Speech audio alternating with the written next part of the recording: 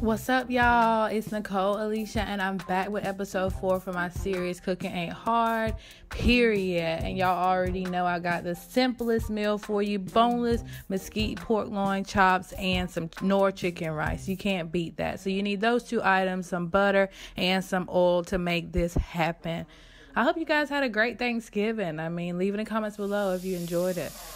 Um, for this, with the pork chops, we definitely want to add some butter. So these chops, y'all, let's talk about them. Tell me why they were only five dollars, four dollars and ninety nine cent at Food Lion, already marinated. All I had to do was throw it in the freezer and throw it in my pan. Listen to that sizzle. Wow. And I mean, not to mention how good it smelled. I was really shocked to see this um in Food Lion. And it comes like with a six pack, I think. All you have to do is really let it cook for two to three, two to five minutes, really, on um both sides, just to make sure there's no pink. Pro tip number one: use your back burners, man. Pro tip number seven, really. Um, use your back burners when you're frying stuff. That way you won't get popped. Let's do. In the meantime, let's do this. In the meantime, while we're cooking those ribs, let's go ahead and check on that rice. And y'all get popping with no rice. What's wrong with you, man? That rice is only like a dollar. And it's so simple to make. Tastes so good. And the instructions are on the back. You see it here.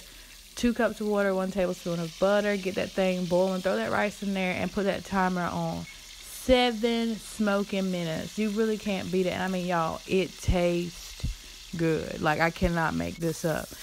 So, two to five minutes later, let's go ahead and flip them. If you'll notice, they're doing that back bend, girl. It's like hopping in a shower and the water too hot. You like, hold up, get up off my back region.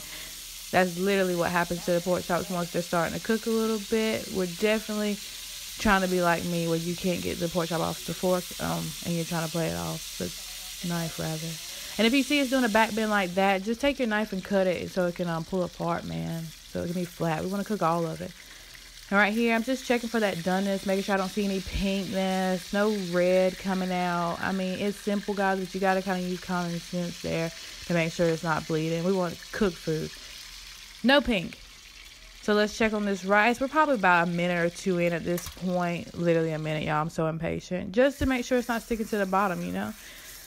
And for you in a comment who's going to say, you know, you should have cleaned your pan, suck my ass okay? Because that's where all the flavor is. That's why your food's bland, man.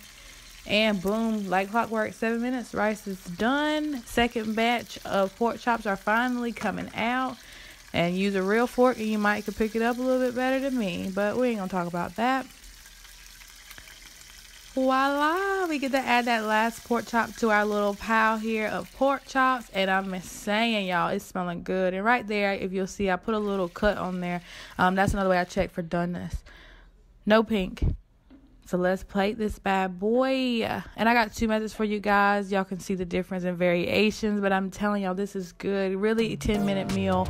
Um, you really can't beat it, guys. $5 for the chop, dollar for the rice. Thank you guys for supporting me, man. And stay tuned for that red velvet recipe. I'll see you guys next time. Peace.